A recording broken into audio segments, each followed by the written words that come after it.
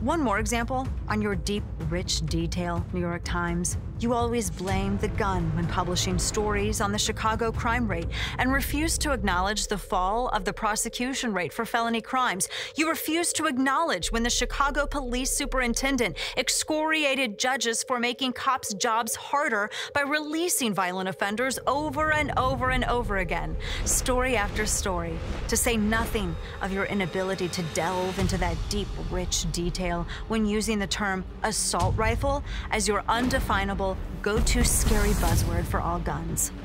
We the people have had it.